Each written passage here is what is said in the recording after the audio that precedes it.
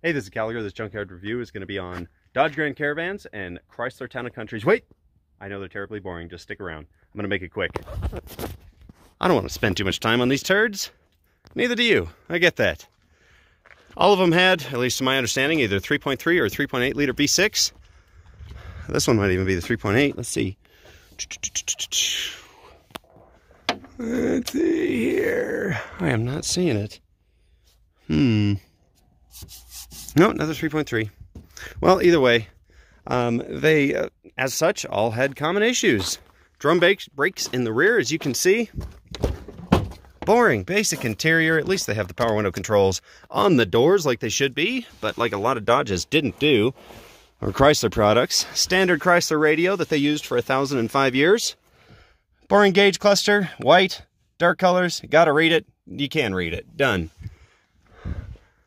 Interesting. It's got a couple different little dealy bobs there you can do, as well as a nice sunglass holder. As well as, check it out, sun visor extenders, although those are the lamest ones I've ever seen. They do not go out that far. So this little drawer here, you think, oh, that's a glove box, obviously. No, it isn't. That actually goes underneath this seat right here. Is where that thing goes. Yeah, these are just, eh, they did the job. They were a minivan. That's what these things were, and they did the job. That's why they were so popular. They were not that expensive, and they served their purpose well. Although this one, check out that wood uh, trim right there. Let's go look at this thing. This is the Dodge Grand Caravan between the two. Plymouth, before they went out of business, also had a version of these things because, you know, all the U.S., or rather, the majority of automakers love to rebrand and rebadge their vehicles and sell them again. Boring gauge cluster again, but this one at least is in the standard black. I kind of prefer that as opposed to white gauges. Interesting center console.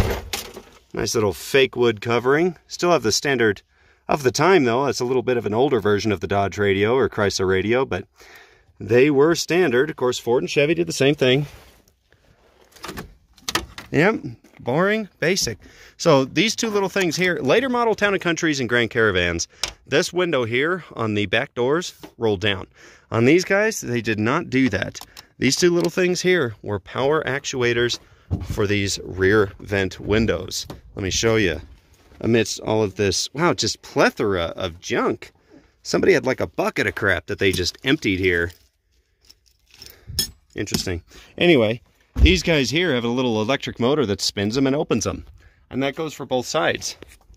Seems like those broke a lot, broke a lot, but either way, that's Dodge Grand Caravan, Chrysler Town and Country. Um, minivans, you know, Chrysler took over the minivan game because of vans like this. They just serve the purpose so well and were relatively uh, inexpensive. And although they all did have the same issues as you're going to have when you rebrand or rebadge vehicles, they weren't too terribly unreliable. It is very commonplace to see them with over 200,000 miles. Thanks for watching. On to the next vehicle.